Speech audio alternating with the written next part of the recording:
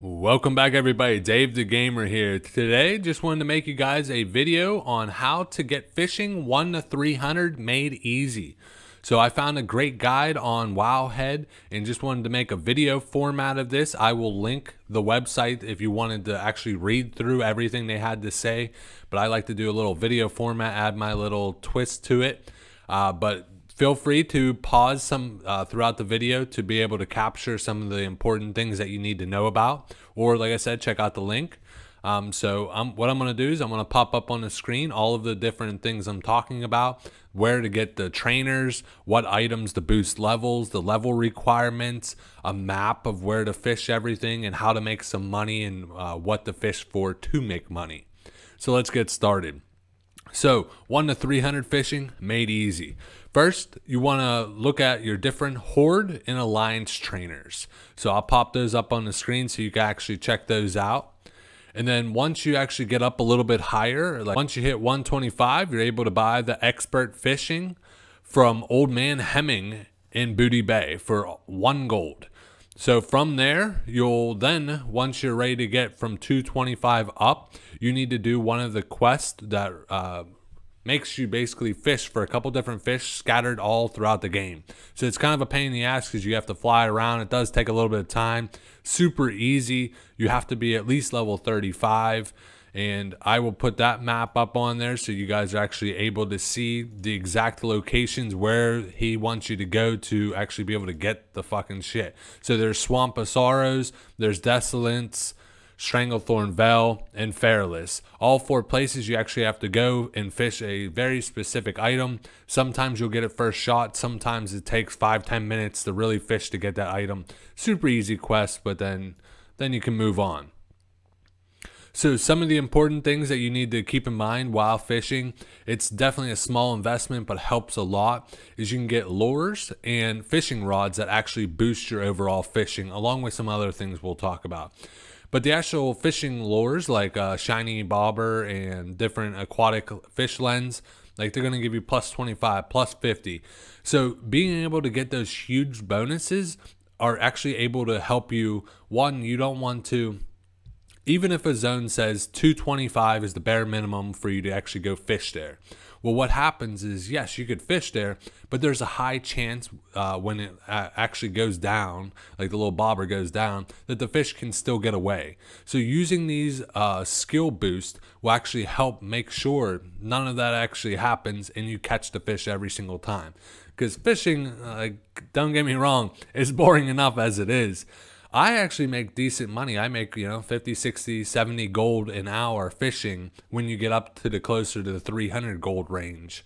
So it's not bad gold per hour, super easy. You know, you could just do it, dick around. You don't actually have to pay attention very much.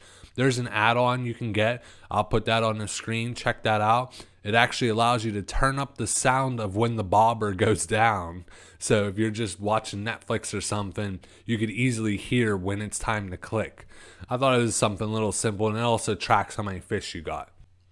So along with the fishing bobbers, you can also, like I said, the fishing poles. A couple easy ones, especially you could buy right off the auction house usually, is the big iron fishing rod. It's plus 20 to fishing, which is pretty damn good. So the ones past the big iron fishing rod, um, you actually have to do a quest or win the fishing contest to be able to get those fishing rods. I haven't got those other ones, but plus 20 alone is something great. I mean, like I said, pick it up off the auction house for 510 gold. Besides fishing bobbers and fishing rods, you can also get the Lucky Fishing Hat, which is plus five, which is from also the fishing contest. You can get boots that have plus five from the fishing contest. You can get plus two enchant to gloves. And then a really nice one is high test fishing line, which is actually also from the fishing contest. So when the fishing contest comes around, definitely want to get involved in that because if you want to make decent gold per hour fishing, it's nice to have all these different boosts, especially when you're in like Azshara actually fishing and you you need a high chance to catch stone scale, uh, stone scale eel and different fish like that. You don't want no chance of anything ever getting away to maximize your gold per hour. So you want to make sure you get to that fishing contest when it is live and you know try to win that shit. So on the screen now is the different fish available at different times. So you have a much greater chance at catching, as an example, night fin snapper, stone scale eel, and raw sun scale salmon from 6 a.m. to 12 p.m. And as you see, depending on the time of your server, changes your drop rate of actually getting that. And when I say changes it, it's like going from like 8% chance to like 33% chance of getting them.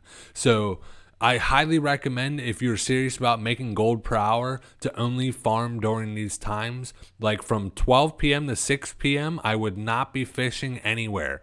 That is not fucking worth it. Don't do it. So, really, you want to go in the morning or after 6 p.m. for the most amount of money on the screen now. I'm not going to read over all of it, but this is a nice thing that you could screenshot along with the second one. I'm going to show you the map, but this shows you the fishing skill needed for Alliance and Horde in different areas you can go as you're leveling up. So it tells you the bare minimum you need, and with all those other level boost, it's just going to make it much easier for you to never miss and to level up faster. Obviously, the end goal is to get the 300, so you're able to actually start making some decent money. So this is the map I was talking about. As you see, it breaks down exactly what you need. So it tells you what uh, actual fishing, like the hashtag the fish is what you need. So as an example in the top left, dark shore, hashtag one. So you need one fishing to fish in dark shore. The equal signs means at 75, there's a 0% chance of you missing the fish. So depending on where you go, like Azshara, I wouldn't want to go there at 205 with no fishing bonus because you're going to miss a lot. So these are definitely big things to take in consideration. Like look at Eastern Plaguelands. Like you got to be 330 just to fish there. So you need max fishing plus some of the stuff and with everything all in all, then like if you have the fishing bobber, the rod, the the enchants, and all of that, then you can. But without all of that, there's still a high chance of missing. And missing stuff is definitely a big thing when uh, when you're making trying to make gold per hour. So during your fishing, also you're going to come across like wreckages those will have iron mithril trunks in them that have different items. I mean, they could be anywhere from 50 silver to 2 3 gold in one of those. So if you ever see them along your route, pick those up. There's also black label rum that you'll find in some of those fishing holes and uh, like you'll see different fishing poles and those are like if your like little bobber is right in there or right outside the circle there's a very high chance you're going to get that type of fish. Like a firefin snapper is very popular in Stranglethorn Vale. Uh, so like you'll see a ton of different fishing poles while you're actually going around that area.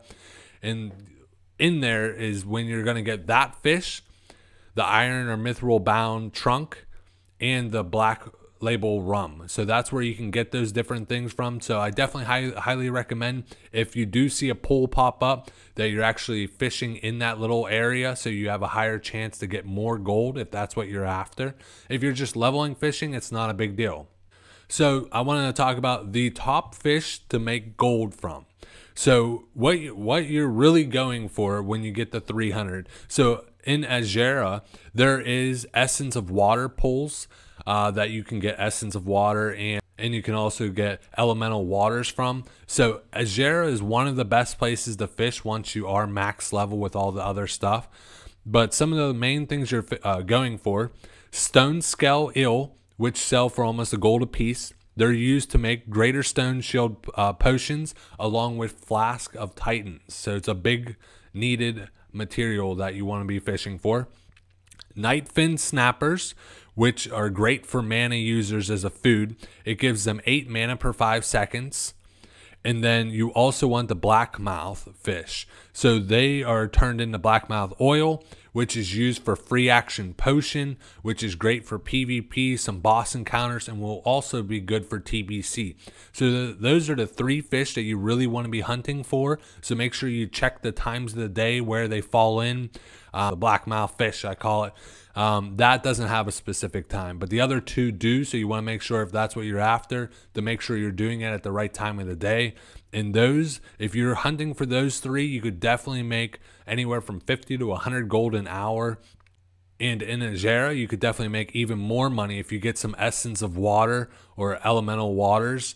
Like you could definitely make over 100 gold an hour just fishing. And it takes pretty much no skill. You could pretty much be a level 35 minus in the higher level zones. You could be getting attacked by mobs. So i do recommend it to be on a level 60 character and just wanted to thank again all of my patreon subscribers they now all get early access to all of my videos. So I have 10, 15 videos pre recorded that I release one a week. So they'll get access to all of my gold making videos, my investing videos, and everything, you know, weeks, if not months before they ever become public to everybody else. So they get a head start. And I'll put their names on the screen there. Thank you guys so much for your support.